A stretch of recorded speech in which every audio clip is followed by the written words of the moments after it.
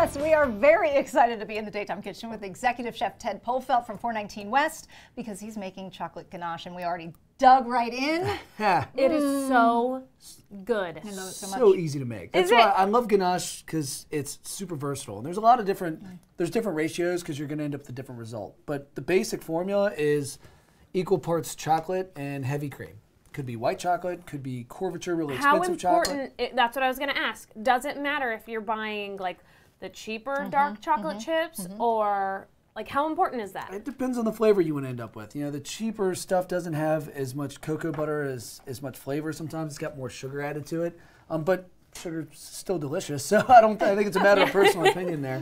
Right. Oh my gosh. All right, so, we're going to get making this in a little bit, but we want to talk about some of the events that you have coming Yeah. up. What do you got going on? So we've got uh, this Friday. We've got our class of 1978 from Cave Springs doing a big thing with Doug and Robin, which is kind of cool. So if you're involved Yeah. Mm-hmm. in that and that area, come on down. And then uh, the next weekend we're having our Halloween party on Friday. So we might have a couple of truffles. We'll be handing out some different chocolate stuff, which is kind of what we're talking about today. But after Mm-hmm. that, a little early, but not too early. Think about uh, Thanksgiving coming up next month. yeah, you That's do. right. Yes. Uh, The Halloween party is it all ages? Of course. It is? Okay. Absolutely. we dress up. Of course. It's the biggest part about Halloween. Yeah. Are you going to be dressed up yet? as a chef? Uh, that's maybe the Swedish chef. Maybe I could do that. Yeah, chef there you wear go. a D. I'll show up as a TV host. How Uh, there about you that? go. There See? you go. Cheap See, costumes. Very creative it. over here.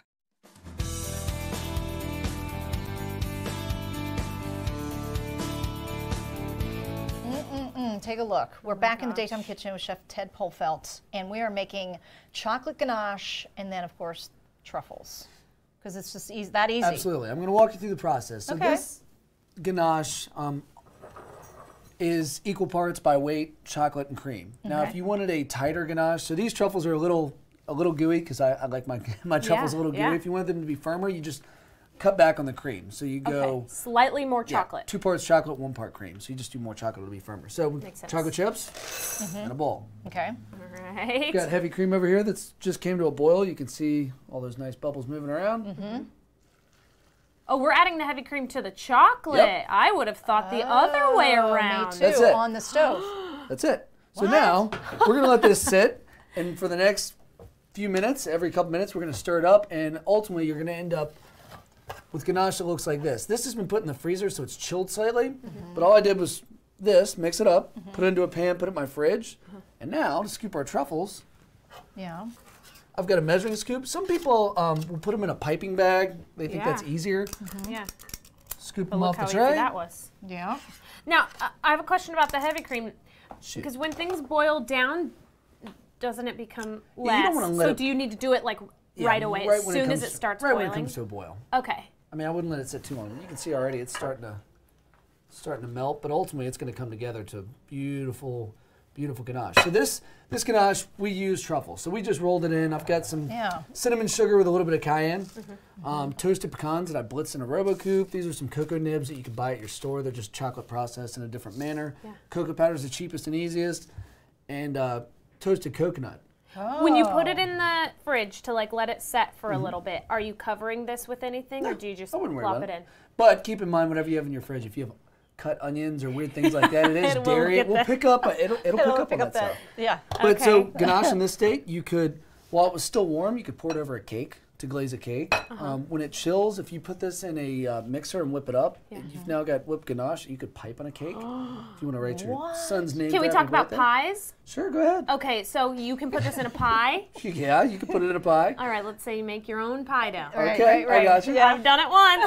That's, you're right. And I'm just, I do I cook the pie dough first and then just pour it in? Yep. I would. Uh, what I would do is probably um, you could pour it in, or you could pipe it in. Depends on what texture you want. Do you want it to be dense like this? Because if you just pour it, that's going to be dense. If you want it to be fluffier, cool it down like this, then put it in a mixer and whip it up, and then just pipe it in like whipped cream or anything else. Whoa. really You're excited. changing I am world. so excited. I have to try this. Ah, go for it. Okay. Yes. And this is the. Cinnamon sugar. There is a touch of cayenne in there. Ooh, I'm I gonna think try the like nibs. Ah, I like cayenne. Okay, so then once you roll them in the things, do you have to put them? Okay, after actually yeah. after we scoop them, do we need to put these I little put them back balls in the fridge. With okay. the equal parts like this, it's not as strong as the other one. And I would recommend wearing gloves because your hands are gonna get messy. But I like them to melt in your mouth. I like I like them uh, Yeah. an e- equal part. But if you want them to be denser, um, cut down to the one part cream, two parts chocolate, And you can store them like this in an airtight container at room temperature for up to three to five days with the denser one. Mm-hmm. With this one, I would keep them in the fridge. They'll last for about a week. Um, but they'll be No, they firmer wouldn't from the last. They would not last No, a week in my house. last. Like Unless we're on vacation for a week, Popcorn, they're not I lasting. could eat it like that. Oh my goodness, Oh, that's this so is good. great. All right, we're going to share the recipe on our website, daytimeblueridge.com. Just click on uh, 419 West. We'll put the um, chocolate ganache recipe in there.